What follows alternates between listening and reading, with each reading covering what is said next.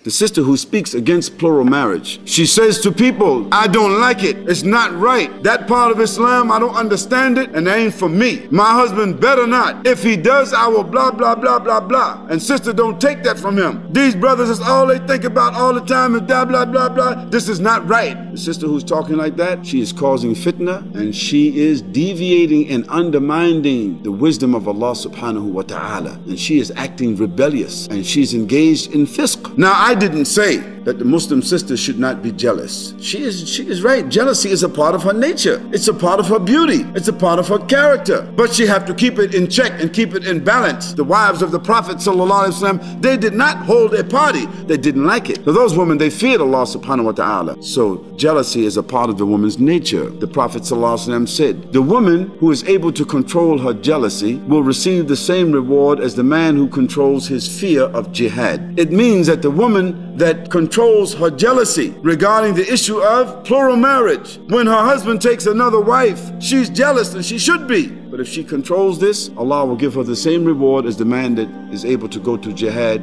and control his fear. Because sisters, think to yourself. Did the Prophet say none of you is truly believers until you love for your brother what you love for yourself? Did he say that? Yes, he said that. So let's switch it. Sisters, none of you truly believe until you love for your sister what you love for yourself.